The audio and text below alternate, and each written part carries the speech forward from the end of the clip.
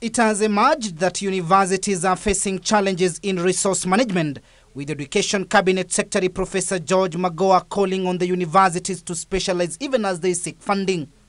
What has happened in this country and what everybody is afraid to say, I, as Professor Magoha, son of Magoha, I will tell you, we had very fine universities, about 10 of them, and then there was an uncontrolled proliferation, which is still going on, which has produced some new fine universities, but some that should not even exist there.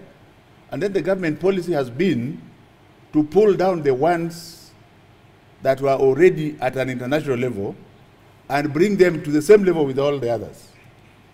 And then we are saying, oh, there's a funding problem. Of course, there will be a funding problem, and it will persist. Professor Magoha has urged councils to offer appropriate advice and guidance to the vice chancellors for proper running of the institutions of higher learning.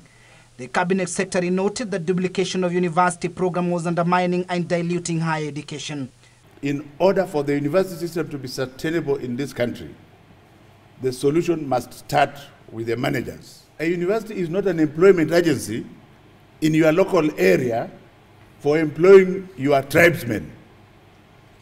It is not a political tool for politicians to endear themselves to the local people. Principal Secretary in charge of higher education, Professor Coletta Suda, condemned the latest spate of crimes of passion targeting college students and called on the government to enhance security in the universities. Security is very critical because some of these events, some of these incidences, some of these things that we read in the papers are disheartening, to say the least.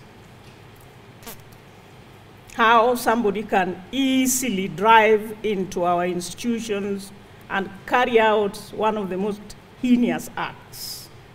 Meanwhile, a total of 89,486 government-sponsored students will pursue degree programs in public and private universities out of a total of 90,755 who scored a mean grade of C plus and above. The remaining 1,269 students applied for diploma courses and were placed based on their choices. Professor Magoa said a total of 98,303 applicants were placed to technical vocational education training programs to study for diploma craft and artisan certificates. In the 2019 to 2020 placement, Jomo Kenyatta University of Agriculture and Technology received the highest number of applicants at 5,901, followed by the University of Nairobi's taking at 5,432, Kenyatta University 5,289, while Maseno University received 2,644.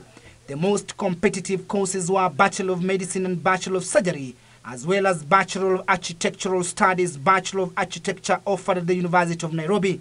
For Channel 1 News, I'm Timothy Kipnoso.